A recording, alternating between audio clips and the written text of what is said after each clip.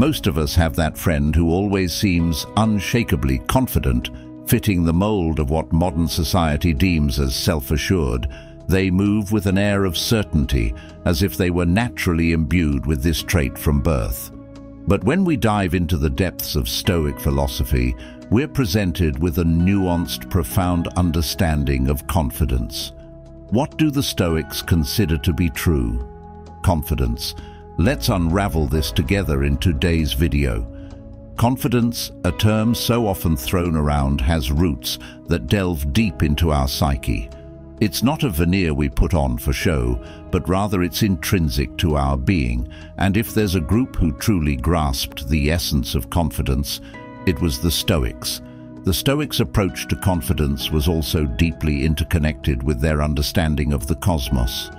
They belie that everything is interwoven in a predetermined order, a concept known as fate. This understanding, rather than leading to resignation, fueled their confidence, if everything is preordained, then our role is not to resist, but to understand and work in harmony with this natural order. Confidence to the Stoics was not about exuding charisma or displaying dominance. It was a quiet assurance rooted in the understanding of oneself and the natural order of things. Take, for example, Epictetus, born a slave, he later became one of the most renowned Stoic philosophers. Despite facing life's adversities, he held an unwavering belief in his own reasoning abilities. Epictetus did not allow his external circumstances to dictate his internal state. Instead, he derived confidence from within, from an understanding that our reactions, not our situations, define us. Another vivid embodiment of Stoic confidence is Seneca. His life was not without controversy or challenge, having faced exile and later forced to end his life. Yet his writings indicate a man who was deeply secure in his beliefs when faced with exile, instead of wallowing in despair. Seneca used the time to write and study. He saw every challenge as an opportunity for reflection and growth. Seneca's letters to his friend Lucilius are a testament to this. He wrote about the impermanence of life, the folly of chasing fame, and the importance of self-awareness. Each letter, in its own way, was a lesson on how to live with confidence amidst uncertainty. You might wonder, how did the Stoics achieve such unwavering confidence? Well, well, they began by understanding that confidence is not about having all the answers, but about being okay with not knowing. It's about understanding that life, with all its unpredictability, is out of our control. What remains within our control, however, is our response to it. In their quest for understanding, confidence, the Stoics also frequently contemplated death. It may seem counterintuitive, but this, this memento mori, a reflection on mortality, fortified their confidence by regularly reminding themselves of the fleeting nature of life. They became more courageous, making the most of each moment.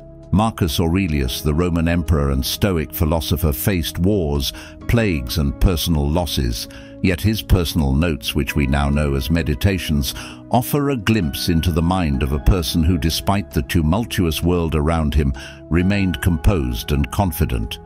He wrote, you have power over your mind, not outside events. Realize this, and you will find strength as most of you already know the Stoics held nature in high regard. They saw nature as a teacher, offering lessons in resilience, growth and change trees, for instance, stand tall, not because they actively resist the wind, but because they bend and sway with it, demonstrating flexibility and strength. Such observations were metaphors from which Stoics derived their brand of confidence. Emulating this Stoic confidence requires us to shift our perspective instead of viewing confidence as a trait that some possess and others lack. We should see it as is a muscle and like any muscle, it requires consistent practice and reflection to be strengthened. The Stoics did this through daily journaling, meditation and engagement in Socratic dialogue. Another lesson from the Stoics is the avoidance of external validation. While society often equates confidence with accolades and achievements, Stoics believed in internal validation.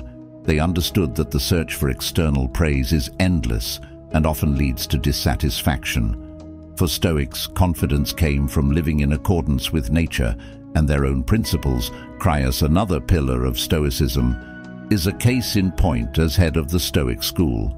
In Athens, he emphasized logic and ethics, urging students to derive confidence from knowledge and virtue. Rather than public opinion in doing so, he laid down the foundation for a cont confidence that's both genuine and lasting.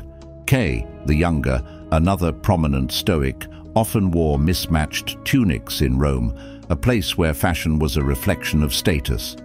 When questioned about his attire, he remarked that he wished to challenge societal norms and test his own sense of embarrassment. Through such deliberate actions, he sought to reinforce his confidence by adhering to his beliefs, irrespective of external judgments. You see, Stoic confidence was also about embracing vulnerability. Acknowledging and accepting one's vulnerabilities and imperfections is a testament to genuine confidence. It's a recognition that while we might not be perfect, we are genuine and authentic in our pursuits. Another essential aspect was the Stoics' attitude toward failure. They did not view failure as a reflection of their worth, but as an opportunity for growth. They believed that setbacks and challenges were natural parts of human existence and offered valuable lessons. For instance, when Zeno, of the founder of Stoicism, was shipwrecked and lost everything, he didn't despair. Instead, he saw it as a fresh start, famously saying, Fortune has taken away my possessions, but she has given me Zeno this incident led him to discover philosophy, thus birthing Stoicism. Confidence for the Stoics was also about endurance. They often drew parallels between physical and mental endurance, just as athletes train their bodies to withstand physical challenges. Stoics trained their minds to withstand emotional and psychological challenges. They practiced mental exercises known as premeditatio malorum, the premeditation of evils, this involved reflecting on potential negative events, not to become pessimistic, but to prepare the mind to inure it against the shocks of life. The Stoics believed that by anticipating potential setbacks, they could face any adversity with calmness and confidence, digging deeper. Stoic writings frequently emphasize the impermanence of life, the idea that everything is in a state of flux understanding and accepting, this was seen as a source of confidence. Why?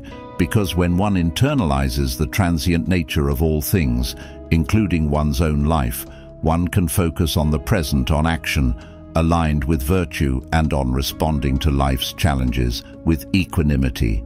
Now, on the community front, the Stoics also derived confidence from their community. They believed in the concept of cosmopolitanism, that all humans are citizens of the world. This interconnectedness meant that they weren't alone in their pursuits. They drew strength from the collective wisdom of humanity, leaning on the experiences of those who came before and those who walked alongside them. In this, they found a collective shared confidence, knowing that while the journey was individual, the path was well trodden. So how confident are you, imagine for a moment, that you're sitting with Stoic philosophers at the Agora they loved, posing reflective questions. Here are three questions the Stoics might have asked themselves to gauge their confidence. Do I derive my self-worth from within or from external validations? Can I comfortably face uncertainty, knowing I can't control everything but can control my response? Do I see challenges as obstacles or opportunities for growth? These are questions for you and I to reflect on reflecting on Stoic teachings. Let's remember that confidence is not about appearing infallible or unshakable. It's about possessing a deep understanding of oneself, accepting life's changes, and deriving strength from our principles and beliefs. Stoic confidence teaches us to be resilient, to embrace challenges, and to always seek growth. It's about recognizing that our worth is not determined by external circumstances, but by our internal beliefs and actions. Let's build a confidence that's not just skin deep, but emanates from the very core of our being. Remember in the words of Seneca, difficulties strengthen the mind as labor, does the body embrace challenges, accept imperfections, and find confidence in the journey of self-discovery and growth. Because after all, true confidence, like that of the Stoics, is not about standing tall in the face of applause, but about remaining unshaken in the midst of storms. You know, the beauty of Stoic philosophy is that it always sparks such thought-provoking conversations. I'm curious to hear your takeaways from our chat today. Drop a comment below, sharing what resonated with you the most. And hey, if you found this enlightening, feel free to spread the wisdom by giving it a like and sharing with your friends. Let's keep this dialogue going, by the way. If you've journeyed with us this far into the discussion, it's clear you're genuinely interested. Why not dive a bit deeper? Consider joining our Telegram group for even more engaging conversations. Oh, and there's another video that's just about to pop up on your screen. Trust me, you won't want to miss it. Check it out.